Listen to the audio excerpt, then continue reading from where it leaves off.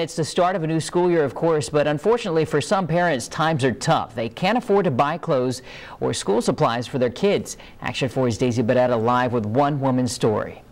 That's right, Joey. We spoke to a Harlingen mom today who tells us her son and daughter have already missed the first two days of school because she can't afford to buy them the proper clothes or supplies they need to succeed in the classroom. Action 4 showed up today at Linda Sanchez's home to deliver two backpacks filled with notebooks and other supplies for her five-year-old Francisco and four-year-old Dalma to help them get started. The first-time students at Ben Milam Ele Elementary have yet to attend school this year. Sanchez says she only received a high school education and currently has no job or income, and it breaks her heart that her kids are missing school because she knows education is the key to their better future.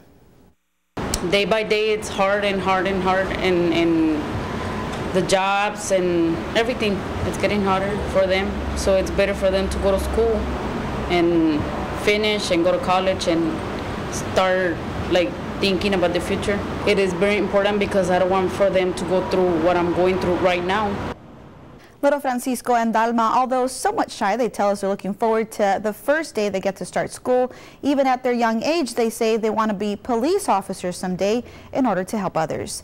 Sanchez tells us she only has clothes to last her about two days. If you would like to help this family, their information will be on our website, valleycentral.com. In the studio, Daisy Barrera, Action 4 News.